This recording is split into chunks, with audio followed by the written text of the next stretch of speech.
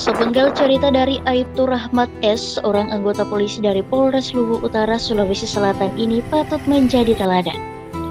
Upayanya dalam menekan angka kriminal dilakukan dengan cara yang berbeda, di mana ia rela menyisihkan sebagian gajinya untuk membantu membeli peralatan dan memfasilitasi para pembuat miras tradisional jenis balok yang dikonversi menjadi gula merah.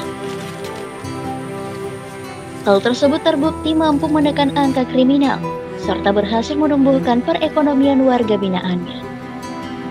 Aibtu Rahmat merupakan anggota polisi yang bertugas sebagai Babin Kamtipmas di Polsek Bone-Bone, Kabupaten Lubu Utara, Sulawesi Selatan, yang menunjukkan dedikasi tinggi dalam menekan angka kriminal dengan mengurangi praktik ilegal pembuatan minuman keras tradisional jenis balok, kemudian diubah ke produk gula merah atau gula aren.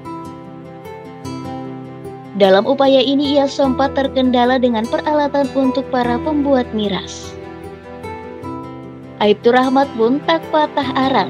Ia rela memilih untuk menyisihkan sebagian dari gaji yang ia terima setiap bulan untuk memfasilitasi peralatan bagi para warga binaan.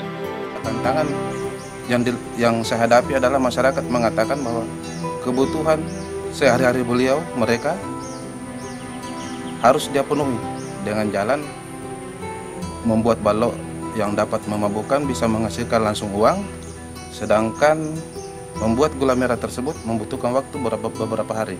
Dan mereka juga membutuhkan peralatan, macam wajan, baskom, eh, jergen, timba, dan lain-lain sebagainya untuk eh, fasilitas untuk membuat eh, gula merah tersebut.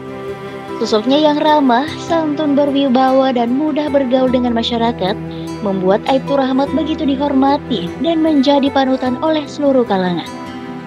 Saat ini, sudah 20 rumah produksi miras yang berhasil ia sulap menjadi pembuat gula aren.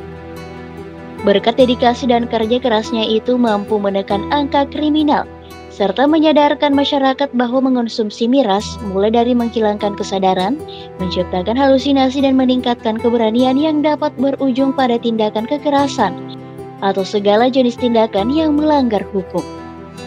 Karenanya warga mengaku sangat bersyukur dengan kehadiran sosok Aibtu Rahmat karena dengan tekad, kesabaran dan keikhlasannya ia bisa membantu warga yang kurang mampu. Kasih arahan tuh bikin ber, an, bikin gula. Saya bilang bagaimana pak? Nah tidak ada alatnya ini.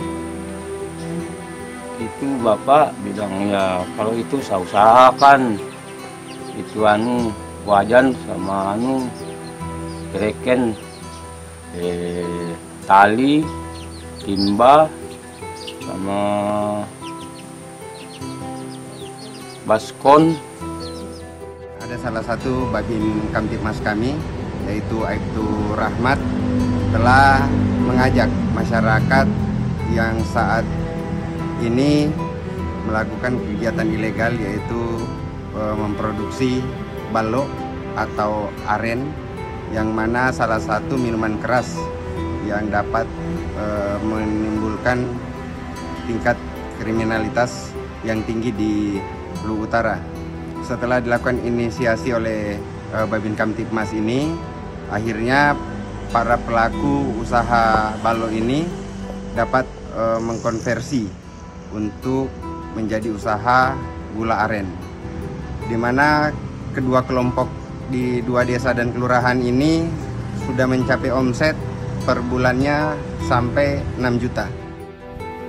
Aibtu Rahmat saat ini juga aktif dalam berbagai kegiatan sosial kemanusiaan.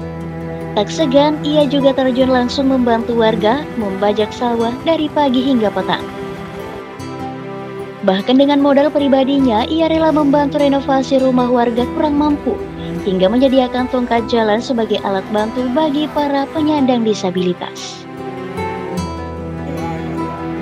Putri Karlina mengabarkan dari Kabupaten Luwu Utara, Provinsi Sulawesi Selatan.